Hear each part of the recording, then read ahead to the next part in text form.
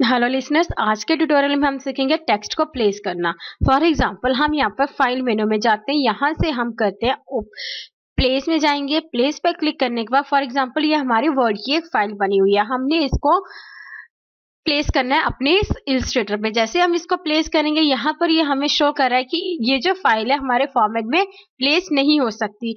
कुछ ऐसा होता है कि हमारे पास कुछ वर्जन हमारे पास नए और पुराने होते हैं जिसमें हम इसको प्लेस नहीं कर सकते।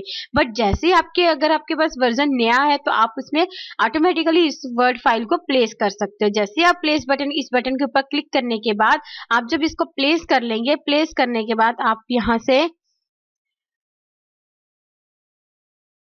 फ़ाइल को भी चूज़ कर सकते हो। फॉर एग्ज़ाम्पल जैसे हमारी डॉक्स फ़ाइल है तो हम इसको प्लेस करते हैं।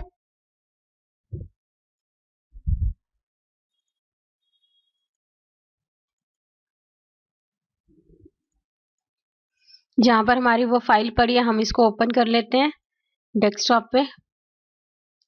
मीन्स दैट कि अभी हमारे पास जैसे कोई फ़ाइल नहीं है, अगर आपके पास वर्ड की कोई भी फ़ाइल बनी हुई होगी तो आप उसको प्लेस करोगे। प्लेस करने के बाद आपको एक डायलॉग बॉक्स आएगा, जिसमें आपको ये कुछ ऑप्शंस आएगी table to the content index like that आपके पास ये ऑप्शंस आएगी।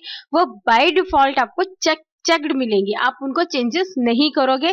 चेंजेस ना करने के बाद आप क्या करोगे? आपके पास एक और ऑप्शन आएगी रिमूव द फॉर्मेटिंग अगर आप उस बॉक्स के ऊपर टिक्का साइन कर देते हो तो आप जो फॉर्मेटिंग करोगे, वो आप उसमें चेंजेस करके आप उसको शो कर सकते हो।